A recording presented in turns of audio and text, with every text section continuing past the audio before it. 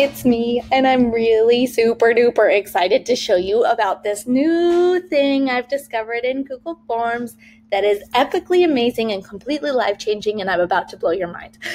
Oh my gosh, sit down because otherwise you're gonna fall down from fainting. You're gonna be so excited. Here we go.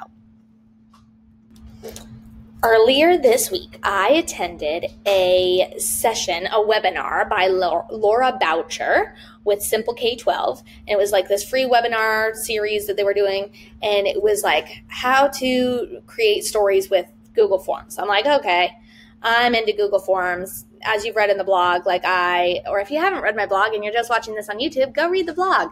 Um, we are trying to norm in our school that everybody uses Google Forms for our lessons, and I actually love it. Um, so I was like, well, I'll just see what this is about. And oh my gosh, my mind is like going 100 miles an hour. I'm giving a training already to my staff on Monday to teach them about all the ways they can use it. I've already thought of a million different ways you could use it in math classes, social studies classes, ELA classes. Like, I'm so excited. But of course, as usual, world language teachers have the best opportunities for it for the most fun. So it's all about choice we know how important choice is in our students' lives, and we know how um, driven they are by choice, and we know that choice is one of the number one things we can incorporate for uh, eliminating classroom management problems because uh, power struggles usually um, occur when there's a loss of choice or, or the kids feel like they have no choice or no say.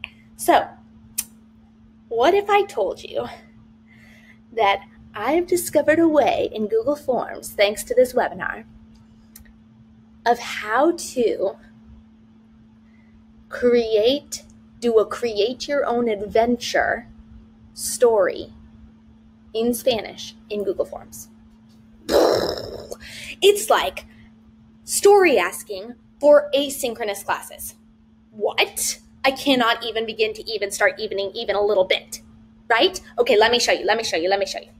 Pause, play. Now you should see me in the little corner, right? Okay, or maybe I'll make it in the top corner, or maybe over this way.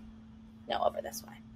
Okay, well, regardless, I'm going to take us to this page over here because uh, that page was the like Google form creation. I'm going to walk you through as if you were a student, okay?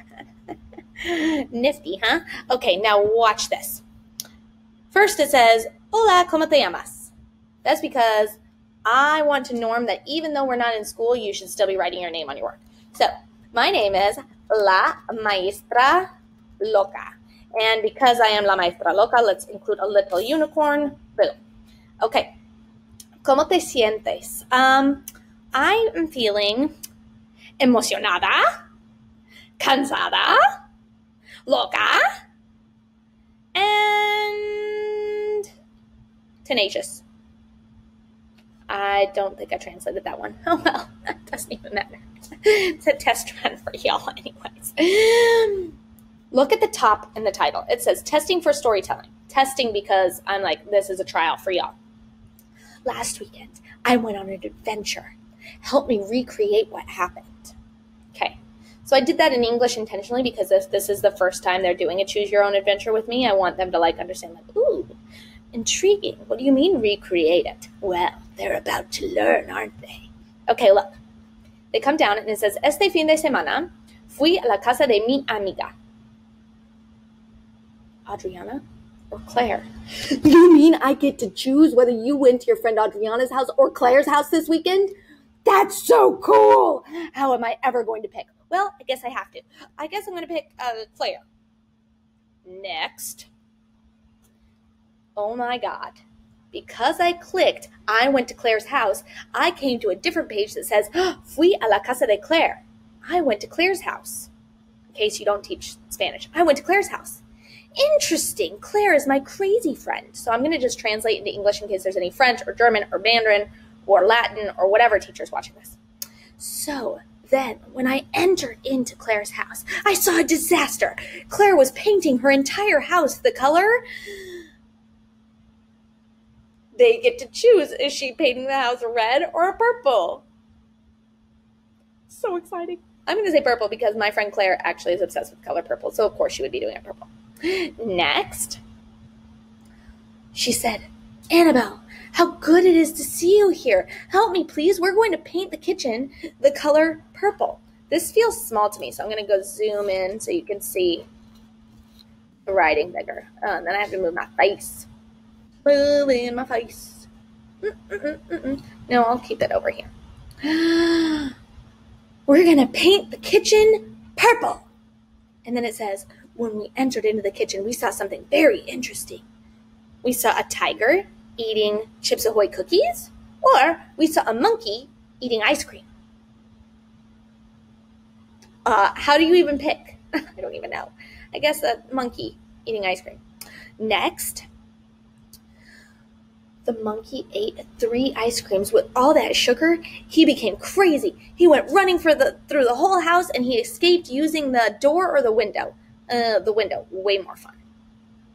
Next, look at this. That must be at the end of the story. You can make it as long as you want or as short as you want. The reason mine is short and will continue to be short is you should see the amount of content my kids are having to do virtually for their other content classes. It is insane. And we aren't even a school that is is like going crazy on kids. So you bet your butt mine are going to be fun and simple and short for them. Input, input, input, input, any that I can do this year. I'm just hoping for a little input this year. With as many details as possible, describe the story that you just created in English. So there's my comprehension check. How much do they remember? Well, shoot, maybe they just clicked, clicked, clicked, clicked, clicked, maestra. They weren't even reading what they were saying. Well, now it's a required question. In order to finish this, they have to write details. But Maestra, they can hit the back button. They can reread what it was that they created. They could even redo it. Wait, you're telling me they could go back and read more Spanish? Oh no! What am I gonna do? Sounds pretty good to me, huh? Huh? Huh? Go back and read all the way from the beginning. I don't care. Read as much times as you want to, kids. As many times? That sounds more grammatically correct. Oh well. Okay, so then we go next, and then they're gonna type. Um, I went to, or you, Maestra. Maestra went to Claire's house. Now, using three to six sentences in Spanish, finish the story where it left off. Después de escapar la casa de Claire, el mono montó en caballo y, fui, y fue al supermercado, etcétera, etcétera. They're going to do whatever they want, right? That's the beauty of it. And then when they're done, they hit submit. And it says, Muy bien hecho. Gracias por participar. Me encanta la historia. I love the story that you wrote. So exciting. That's my feedback for them. They're done.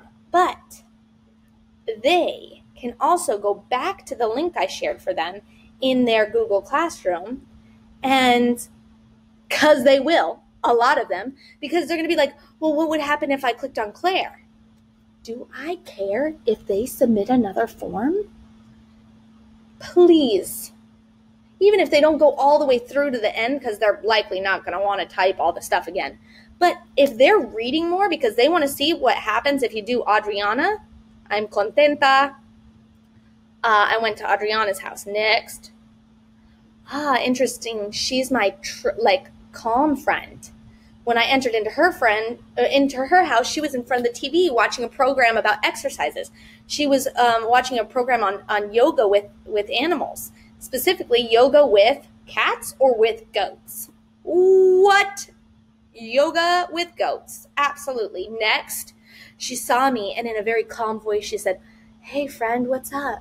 Do you want to do yoga with me with with goats with me?" And I responded, "Yes, I would love to do yoga with goats with you."